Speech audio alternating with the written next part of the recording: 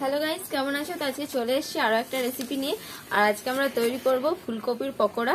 তো চলো দেখতে থাকো রেসিপিটা শীতকালে যখন ফুলকপি, বাঁধাকপি পাওয়া যায়, বাঁধাকপি পকোড়া তো দেওয়াই আছে চ্যানেলে ফুলকপি দিয়ে আজকে পকোড়া বানাচ্ছি। ভিডিওটা তাড়াতাড়ি লাইক করে দাও আর দেখতে থাকো, সঙ্গে থাকো। দেখো গাইস ফুলকপি নিয়ে নিয়েছি। আর এটা ফুলকপিটা কেটে নেবে বর্ণালী। আর এখানে আমি কিছু সবজি কেটে নিয়েছি পকোড়ায় দেবো বলে। এখানে আছে ক্যাপসিকাম আর গাজর ছোট ছোট টুকরো করে কেটে নিয়েছি। আলু একটু ছোট টুকরো করে কেটে নিয়েছি ধনে পাতা। এখানে আছে কাঁচা লঙ্কার কুচো আদা কুচো। আর কফিটা এখনও কাটা হয়নি কফিটা কেটে নেব।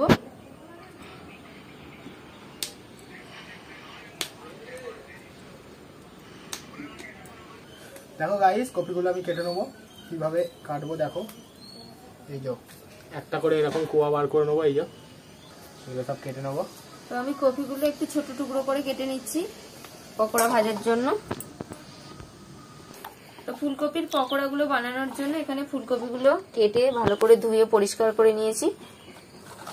তো চাইলে হালকা একটু ভাপিয়েও নেওয়া যায়। তো আমি একদম গোটা গোটাই এমনি করব কাঁচাই দিয়ে দেব। তো এবার এর মধ্যে যে সবজিগুলো রেখেছিলাম সেগুলো দিয়ে দেবো, ক্যাপসিকাম, গাজর,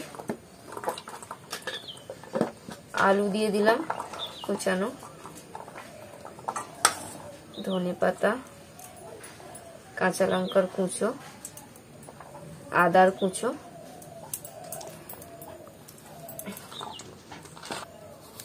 এবার আমি নুন দিয়ে দেবো, লঙ্কার গুঁড়ো দিয়ে দিলাম অল্প একটু হলুদের গুঁড়ো দিয়ে দিলাম। জিরের গুঁড়ো। একটু গরম মশলার গুঁড়ো দিয়ে দিলাম। সব কিছু মশলা ভালো করে কফির সাথে মেখে নেব। দেখো গাইস বেসন দিয়ে দিচ্ছি। বেসন দিয়ে দিলাম। হালকা একটু জলের ছিটা লাগলে দেবো আমি এখন মাখি। আর একটু চালের গুঁড়ো দাও ওদিকে চালের গুঁড়ো আচ্ছা একটু চালের গুঁড়ো নিচ্ছি। মাখার জায়গাটা ছোট হয়ে গেছে। হুম। আর একটু বড় জায়গা তাহলে কে নিয়ে এলো? আচ্ছা আমি না চালের গুঁড়ো দেবো।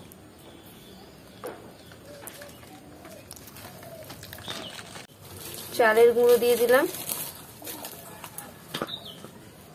আমি হালকা করে একটু জল দিচ্ছি। তো ভালো করে এটাকে মেখে নেব। আর একটু বেসন লাগলে একটু দেব। তো আমাদের এটাকে ভালো করে মেখে নিতে হবে। অল্প করে একটু খাওয়ার সোডা দিয়ে দিলাম। দেখো বন্ধুরা আমাদের পকোড়া ভাজা চলছে।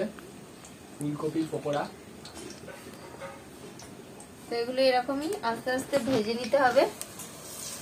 ধীরে ধীরে জাল দিতে হবে। যেহেতু কাঁচা কাঁচা সবকিছু আছে সেদ্ধ হবে। ধীরে ধীরে জাল। আঁচটাকেও মোটামুটি মিডিয়াম রাখতে হবে।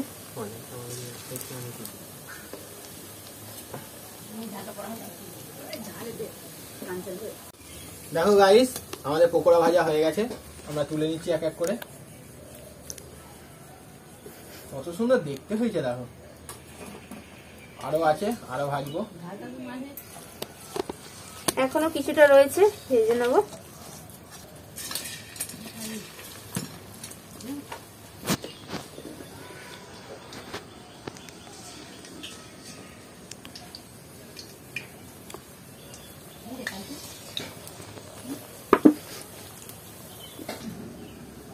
দেখো রাইস ভেলকু চলে এসছে।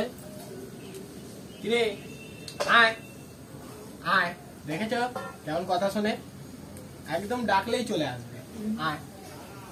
খাবি দেখো কীরকম কথা শোনে। এই এখানে একবার উঠে পড়ি। এই টিটু একটা টিপ করে দাও তো ওকে লাল টিপ। চিহ্ন করে দাও তোর। ভেলকুকে বড় এই খুঞ্জুনি। ওর ওই কান কাটা মেয়েটাকে নিয়ে আসতে বলছি। কালটু এই এই বাবা কেমন হয়ে গেছে গো? খুব খারাপ অবস্থা।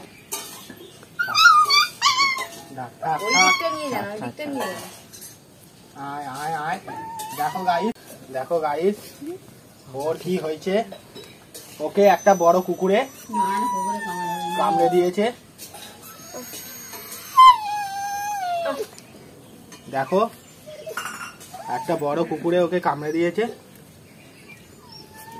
একটা বড় কুকুর এসেছিল। ওকে আমি রেখে দিই। ওই যে আয়, নে। নে। নে, যা। ওকে ওষুধ দেওয়া হলো।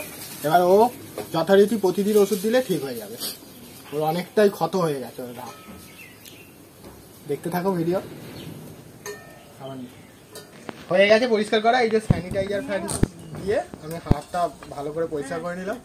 যেহেতু খাবার টাবারের ব্যাপার তো, আমরা খাবার বানাই। আর তার আগে ডেটলের সাবান ফাবান দিয়ে, ডেটল দিয়ে হাতটা ভালো করে পরিষ্কার করে নিয়েছি। জীবাণু থাকবে না। সাধারণত গ্লাভস পরেই করে সবাই। আমি তাড়াতাড়ি করে ভিডিও করছিলাম, তখন দেখলাম কুকুরটা ছিল। সেই মুভমেন্টেই আমি করে দিলাম। ওকে ওষুধ টষুধ দিয়ে চিকিৎসা করে দিলাম প্রাথমিক চিকিৎসা। দেখা যাক সারে কিনা। দিয়ে দে। তো আমাদের সব পকোড়াগুলো ভাজা হয়ে গেছে। বলবে হঠাৎ করে নয়ন কোথায় গেল? আমি এখানে ওই ওষুধ দেওয়ার পর তারপরে বসে পড়েছি। এবার সস দিয়ে দেবো।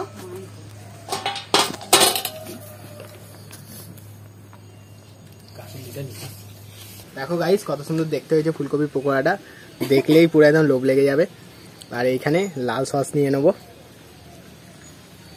দেখছ? কত সুন্দর।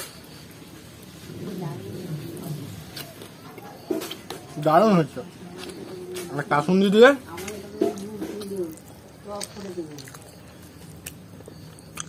এটা হচ্ছে কাসুন্দি হেবি। তোমরা বাড়ি তৈরি করো। না তুমি খাও। দেখি কেমন হয়েছে। তখন তো খেয়েছি ভালোই হয়েছিল গরম গরম পকোড়া। চায়ের সঙ্গে? পকোড়া। সাথে চা হলে খুব ভালো হতো। চা কফিরই তো সময় এখন। এখন হচ্ছে চা কফির সময় শীতকাল চা আর এই পকোড়া। আর গরম গরম পকোড়া। শীতকালে এসব ফুলকপি বাঁধাকপি এসব পকোড়া খেতে ভীষণ ভালো লাগে। তো তোমরা অবশ্যই বাড়িতে ট্রাই করো। আর কেমন লাগল কমেন্ট করে অবশ্যই জানাবে। ভিডিও ভালো লাগলে লাইক করে দাও। তো আজকের মতো এখানে শেষ করছি। দেখা হবে পরের ভিডিও টাটা!